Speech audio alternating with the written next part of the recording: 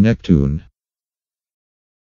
Neptune was discovered on September 23, 1846 by British astronomer Johann Galle and was named after the Greek god Neptune. It is a superior Jovian planet that consists of about 80% hydrogen, 19% helium, and other gases like nitrogen. The core of the planet contains various ices and rock but is smaller in comparison to the majority of the planet.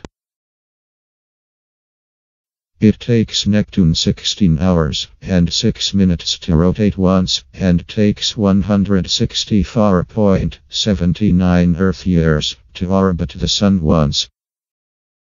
It is most recognized for its deep blue color and the large black spot, which is actually a raging storm that has been on Neptune at least since its discovery. Dimensions Neptune has a diameter of 49,250 kilometers and has a circumference of 155,600 kilometers. The density of the planet is 1.64 grams per cubic centimeter. Neptune can hold about 57 Earths in its entirety.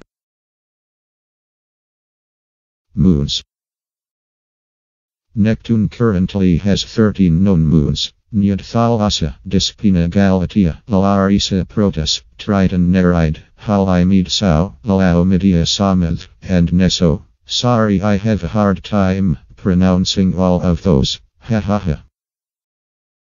Neptune has only been studied via telescope and Voyager 2, which took a few photos and measured the data we currently have today. Possibility of life.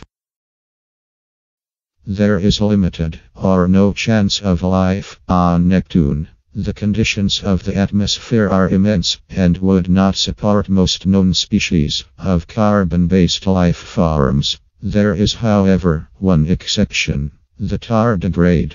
Tardigrades, also known as water bears, are commonly known for their amazing ability to survive harsh environments. They can be found literally almost anywhere on Earth. NASA has done tests with tardigrades and have discovered they can survive in the vacuum of space and can likely survive the harsh environments of other celestial bodies. Further tests on tardigrades are helping scientists discover new ways for survival in space.